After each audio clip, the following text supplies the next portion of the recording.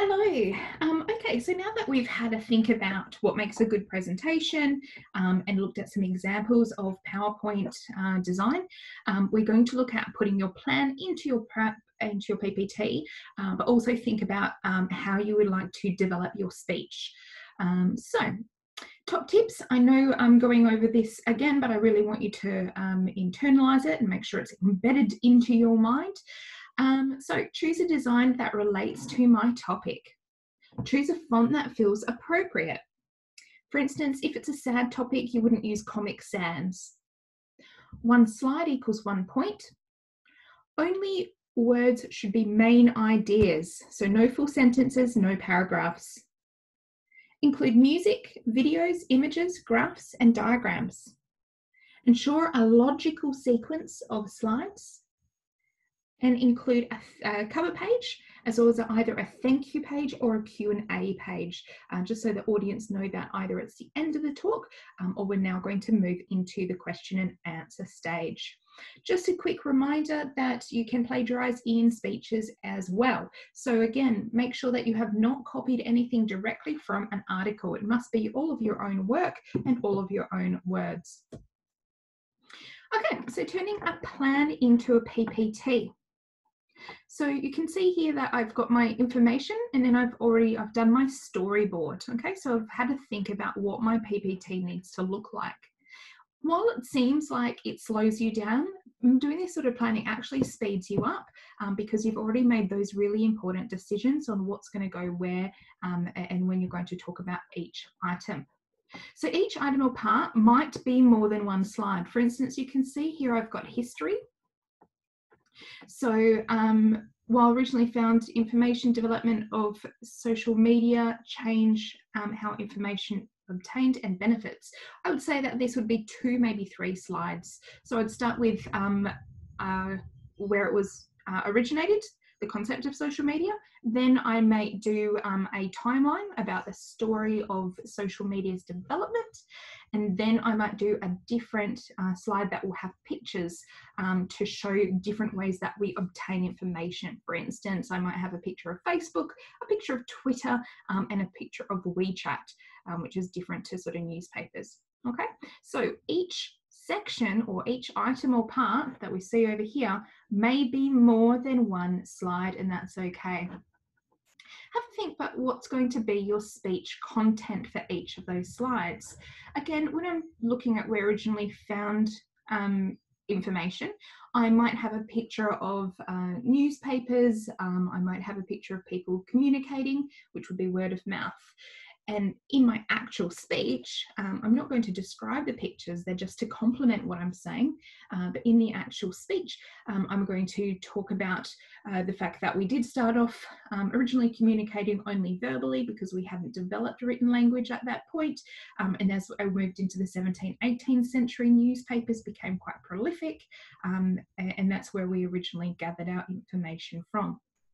So we need to think about not only the speech content, but the PowerPoint content or vice versa, PowerPoint content and the speech. So how am I going to link these two things together? Have a think if you need to change the order.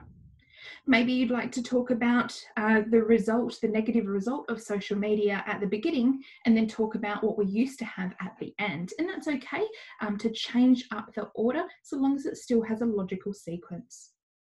Do I need a linking slide? For instance, if you're going to be talking about China and then America in terms of part-time work, you might want to have a little linking slide uh, to move us from one country to another. Is there information that's not relevant uh, to this presentation? And have I found the most interesting information to prove my points? And then we're going to be working on the speech and the PowerPoint at the same time. So you need to decide how you'd like to prepare your speech. And there's two different ways that you can do that. Number one, you can use over the left-hand side, you can actually use your detailed plan um, to be your speech preparation. So making sure that you've got all the information. I know I'm going to talk about this, then this, then this, and this. Okay. There's no full sentences, um, but I know my information really well, so I don't really need to write it down. Alternatively, you can actually write your speech out, lay out, sorry, your speech incomplete. Um, so this is a very famous speech um, by uh, Martin Luther King Jr. However, he practiced his speech so many times in front of friends and the mirror that when he actually gave this speech, it really sounded like it came from his heart. Uh, it sounded like it was authentic and he was just speaking um, off the top of his head. So it didn't seem like that. So these are two methods that you can prepare your speech for your presentation. So just to give some information, so if you're using a plan as a speech, um, it can increase your authenticity. So it can make it sound a lot more natural because you just know your information and the sentences will flow. So all you're thinking is the history, and I'm going to talk about the history rather than writing full sentences. However, it means you need a highly detailed plan. So you need to really strengthen and boost up that plan. You need to link your points through sentences naturally. So it means you need to be quite confident in your speaking ability. You need to ensure that your speaking is structured well, your sentences and sequencing. Again, that falls into having a really good detailed plan and making sure that you practice a lot. It requires that you know your topic inside and out. If you're doing hypoxia, which is quite a scientific topic, this might be a little bit difficult to do. Um, but if you're talking about part-time work, which relates to China, uh, it might be something that you can speak with uh, a little bit more easily and more confidently. So your PowerPoint and your plan need to be very closely linked as well. Okay, so the PowerPoint and the plan need to reflect each other. Next, if you decide instead that you'd like to write out your whole speech, it does ensure that you won't miss any information out. However, it does mean that you need to memorize the speech, but make it seem natural when speaking. So that means there's a lot of practice in front of the mirror. You can use palm cards to help. With palm cards though, we only put the main points and main words, okay? The same as note taking. You don't have full sentences on palm cards. You actually will get marked better if you know your information. Okay, so it will be better mark for you if you know your information and can speak off the top of your head. If you are reading off your PowerPoint or reading off a piece of paper, that's going to reduce your mark. Now, a great thing about writing out your whole speech, it makes it a lot easier to edit it and get it perfect. You can move things around, delete information, change your expression, so you almost have a lot more control over it. So you've just got to decide, do I want to use my plan as my speech or do I want to write the whole speech, okay? Both have good things and bad things attached to them. You just need to decide what's going to work better for you. But in both of them, you cannot read the speech or read the information off a piece of paper. You need to present and go through the same as your teachers do. When Terry or Mayuri or Damien or myself, when we present to you as teachers, we know the information. Um, to my knowledge, we don't sort of read off the book, all right? So you need to do that same thing. So today, I want you to create your initial PowerPoint. I want you to decide on your speech methodology, so whether you're going to write it out or use your plan. I'd like you to start gathering resources for your PowerPoint, so images and videos and graphs.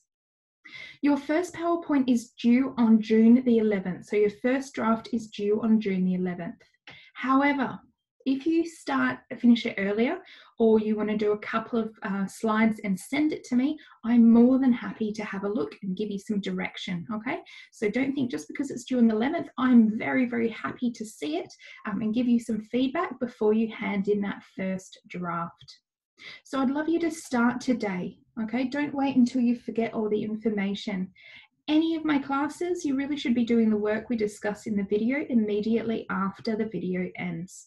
So you leave it to the last minute, you're going to forget everything, and then you're not going to end up with a great result. Before I go, I just wanted to show you some level three PPTs um, that um, uh, 12A have actually completed. Um, well, they're not perfect, they're pretty good. Um, and it's just an example of the sort of work that I'd expect from my 11A students as well. So first we'll have a look at Steve's. So Steve did um, uh, online education as his seminar. So in level three, you actually get to choose the topic that you're going to do your presentation on, which is really exciting. So Steve, immediately his first his first page is really exciting, really engaging. Um, it's got lots of color and vibrance, and it relates to me because I'm a student, or his audience is a student. Okay.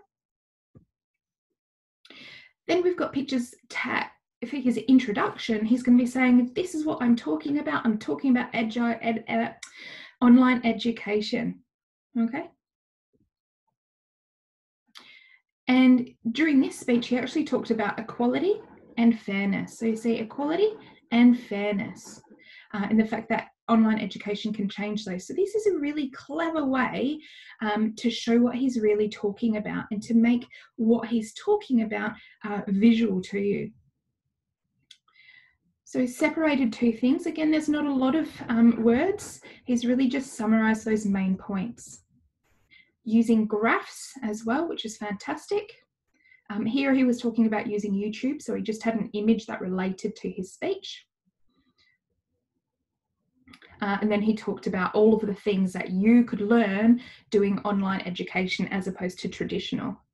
Again, he's got some different uh, graphs and images to show what he's talking about making lots of fun. So you can see he's very positive about online education. So you can feel um, you're going to be impacted by the colours that he's using as well. And then, uh, as with your essays and your PowerPoints, it's a full circle, and we go back to the thesis statement, which is the fact that um, online education can equal equality and fairness in education. There's one example. The other one, I've got two boys. I apologise for that, ladies, but um, uh, once Rebecca sends hers through, I'll be able to share that with you as well. So this is Alan. So Alan is talking about animals in entertainment. So he's got all these images of animals. He's not given us a suggestion as to whether it's good or bad, which opens up a nice question like, ah, what is this presentation going to be about? He has done a contents page. This for me, I think is a bit too wordy. Um, but then as you can see, he's used um, the main points rather than putting full sentences and he goes through all these details. He's got pictures that relate to what he's talking about. And you can see the pictures aren't very favourable. They don't make you feel happy. They're kind of darkish colours.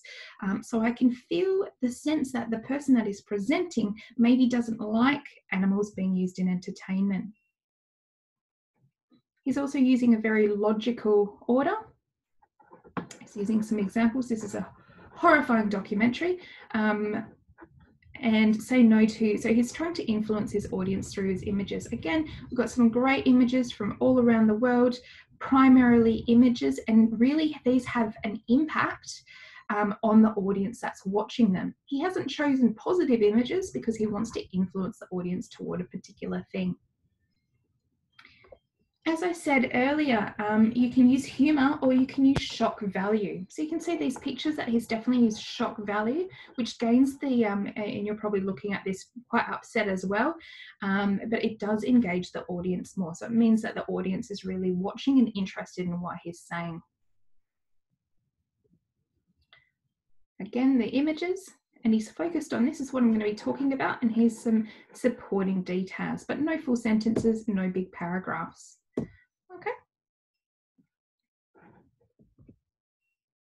Uh, he's got his conclusion and then question time. So again, you can have a thank you or an, just a question area. So that's an example of what you're going to be, um, what you can create yourself if you wish to. Um, I'll just go back to my other one. So as I said today, if you can create your initial PowerPoint, decide on what you're going to do in terms of your speech. Please let me know whether you're going to use um, a detailed plan or whether you're going to write your speech out in total. Um, and as I said, even before the 11th June, um, I'm very happy for you to send through some examples of what you'd like to do. Ask me any questions. Um, I truly want to get you really good marks um, for this presentation. As usual, always available on WeChat, um, so feel free to contact me and I will see you in the next class.